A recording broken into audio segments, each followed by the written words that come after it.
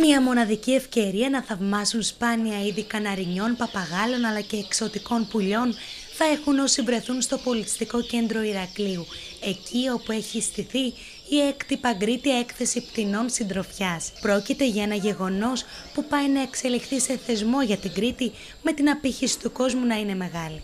Είναι μια έκθεση, στην οποία όμως έκθεση, εκτός ότι ε, δείχνουμε όλα τα καναρίνια και τα πουλιά που έχουν γεννηθεί ε, στα, στις, ε, στα εκτροφία μας, συναγωνιζόμαστε κιόλας μεταξύ μας με, ε, και οι κριτές είναι από το εξωτερικό. Ο επισκέπτης που θα έρθει μπορεί να θαυμάσει τα πουλιά που έχουμε, τύπου και χρώματος, να ξαναγηθεί, να μάθει το χόμπι μας και να μπορεί να αγοράσει και πουλιά από το pet shop και να τα έχει στο σπίτι τους για εκτροφή και να γραφτείς και στο συλλογό μας. Έχουμε παπαγάλο μεγάλο, εδώ επάνω μεγάλο και εδώ τα παπαγαλάκια τα μικρά έχουν διαφορετικό DNA και αυτά. Ναι.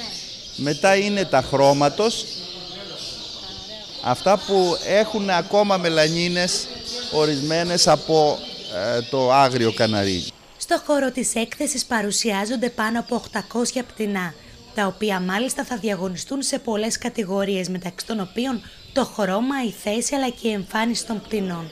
Γιατί να επιλέξει κάποιος το συγκεκριμένο ζώο Γιατί μπορεί να το έχει μέσα στο σπίτι άνετα και λαϊδάει, δεν γαυγίζει, δεν φωνάζει σαν άλλα κατοικίδια και σου κάνει παρέα, συντροφιά; Όταν ε, περιποιόμαστε ένα καναρίνι μόνο συντροφιάς, το βγάζουμε από το κλουβί ε, και κάθεται μαζί μας, ε, διαβάζει μαζί μας με τα μικρά, ζει με, τον, ε, ε, με τους μεγάλους.